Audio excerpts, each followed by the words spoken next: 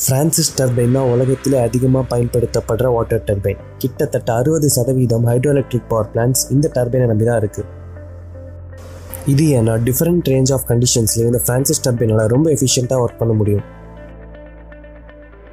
Francis டர்பைனோட ரொம்பவே முக்கியமான பகுதி இதுதான் ரன்னர் இதுக்குள்ளே நிறைய காம்ப்ளெக்ஸ் ஷேப்டு பிளேட்ஸ் இருக்கிறத நம்மளால் பார்க்க முடியுது. இந்த ரன்னருக்குள்ள வாட்டர் ரேடியலாக என்டர் ஆகி ஆக்சியலாக வெளியே போகும்.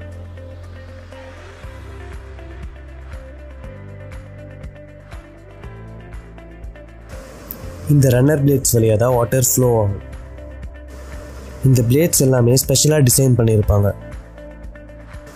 இந்த பிளேட்ஸில் தின் ஏர்ஃபாயில் கிராஸ் செக்ஷன் இருக்கிறத நம்மளால் பார்க்க முடியுது. இதனால வாட்டர் ஃப்ளோ ஆகும்போது ஒரு பக்கம் லோ ப்ரெஷரும் இன்னொரு பக்கம் ஹை ப்ரெஷரும் உருவாகும்.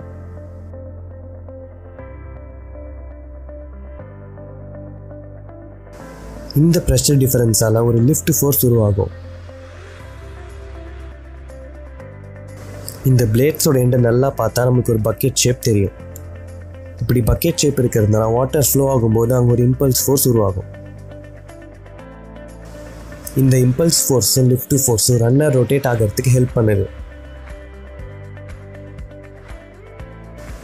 இம்பல்ஸ் ரியாக்ஷன்லேருந்தும் ஃபோர்ஸ் ரன்னருக்கு வர்றதுனால நம்ம ஃப்ரான்சிஸ் டர்பைனை ரியாக்ஷன் டர்பைன்னு சொல்லிட முடியாது.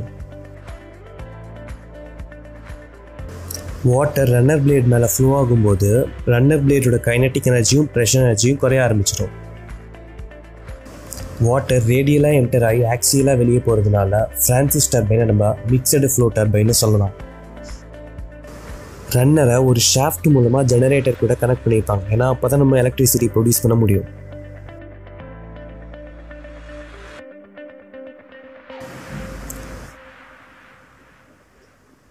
இந்த அரேஞ்ச்மெண்ட்டை ஒரு ஸ்பைரல் கேசிங்குள்ளே ஃபிட் பண்ணிடுவாங்க.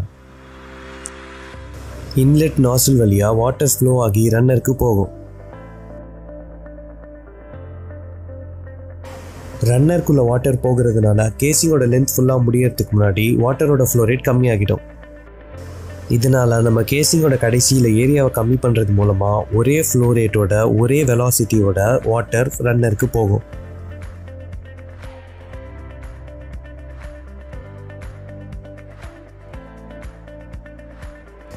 ரன்னரோட ஆரம்பத்தில் ஸ்டே வேன்ஸையும் கைட் வேன்ஸையும் நிரந்தரமாக ஃபிக்ஸ் பண்ணி வச்சுருப்பாங்க. இது மூலமாக நம்ம ப்ரெஷர் எனர்ஜியோட ஒரு பகுதியை கைனட்டிக் எனர்ஜியாக மாற்ற முடியும்.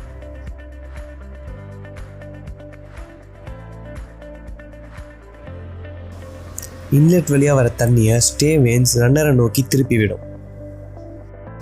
இது மூலமாக நம்ம டர்பைனுக்கு உள்ளே உருவாகிற சூழலை குறைக்க முடியும். மின்சாரத்தோட தேவை காலத்துக்கு ஏற்ற மாதிரி மாறுபடும். மின்சார தேவைக்கு ஏற்ற மாதிரி நம்ம கைட்வேன் மெக்கானிசம் மூலமாக வாட்டர் ஃப்ளோ ரேட்டை கண்ட்ரோல் பண்ணி மின் உற்பத்தி அதிகப்படுத்தவும் முடியும் குறைக்கவும் முடியும். இந்த கைட்வேன் மெக்கானிசம் மூலமாக நம்ம ரன்னர் பிளேடுக்குள்ளே போகிற வாட்டர் ஃப்ளோ ஆங்கிளையும் கண்ட்ரோல் பண்ண முடியும். அதிக அளவு மின்சாரத்தை உற்பத்தி பண்ணுறதுக்கு நம்ம இந்த கைட்வேன் ஆங்கிளை எப்பயுமே ஆப்டிமம் ஆங்கிள் ஆஃப் அட்டாக்ல வச்சுருப்போம்.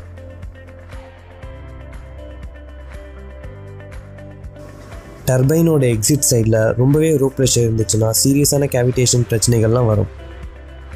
இதனால் வெளியே போகிற ஃப்ளூயிடை கவனமாக டிஸ்சார்ஜ் பண்ணுறதுக்கு எக்ஸிட் சைடில் ஒரு டிராஃப்ட் டியூப்பை அட்டாச் பண்ணியிருப்பாங்க. டிராஃப்ட் டியூபோட இன்க்ரீஸிங் ஏரியாவால் வெலாசிட்டி ஹெட்டை ஸ்டாட்டிக் ஹெட்டாக மாற்றி கேவிடேஷன் பிரச்சனை வராமல் பார்த்துக்கும். இப்போ உங்களுக்கு ஃப்ரான்சிஸ் டர்பைனோட ஒர்க்கிங் நல்லா புரிஞ்சிருக்கும் நம்புகிறேன் நன்றி.